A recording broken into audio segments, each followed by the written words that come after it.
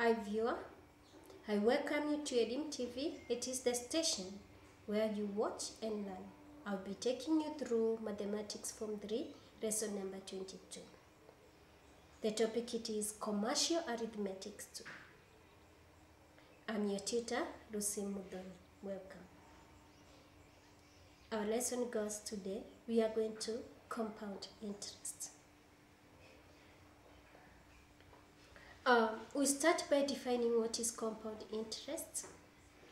Compound interest, it is the interest being paid to the owner. It is added to the principal and thereafter it earns the interest also. So that is the reason as to why we refer to it as compound. It is compounded with the principal in order for it now to start earning the interest again. Interest period. It is the period after which it is compounded to the principal. Then it may be calculated either annually, semi-annually, quarterly, and also monthly. In case the compound interest rate is per annum and the interest is calculated n times per year, then the rate of the interest per period is, is r divided by n. For example, let us take that you are given a, a, a, an interest uh, or you are given or you are required to find the rate if at all it is compounded quarterly. How many times will you compound this? It is four times. So my rate becomes r divided by 4. The number of times you are going to calculate it. So that how it is calculated. The compound interest formula. It is given as compound interest is supposed to be the principal.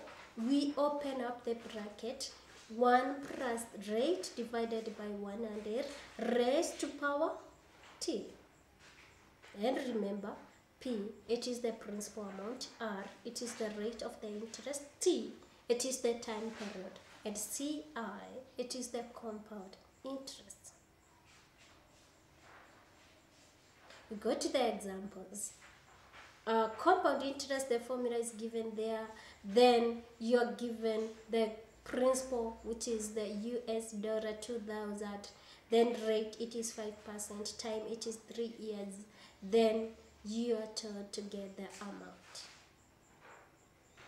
So in that case, it is uh, 2000 US dollar. You open the bracket 1 plus 0 0.5 divide by 1 multiplied by 1 times 3. So what am I going to get? You calculate and finish up. Then we go to the compound interest. Uh, an example, the first example you are going to calculate. A customer deposited 14,000 in the saving account. Find the accumulated amount after one year if the interest was paid at 12% per annum, compounded quarterly.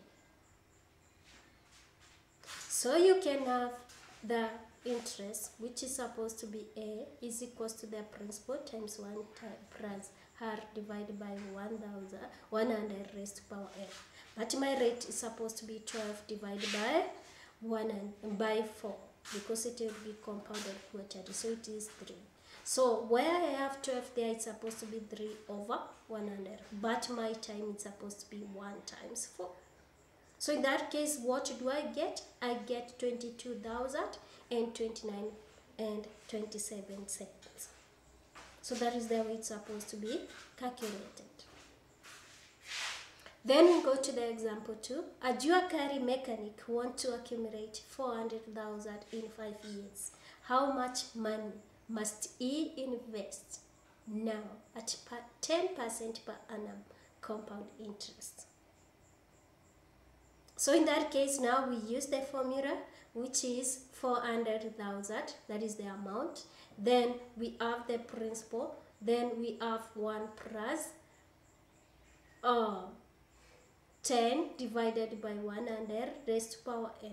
So in that case, it is principal times multiplied by 1.1 raised to power 5. So we divide both sides by 1.1 raised to power 5. So you get the principal is supposed to be 2 and uh, 248,368.53. That's how I get that principal.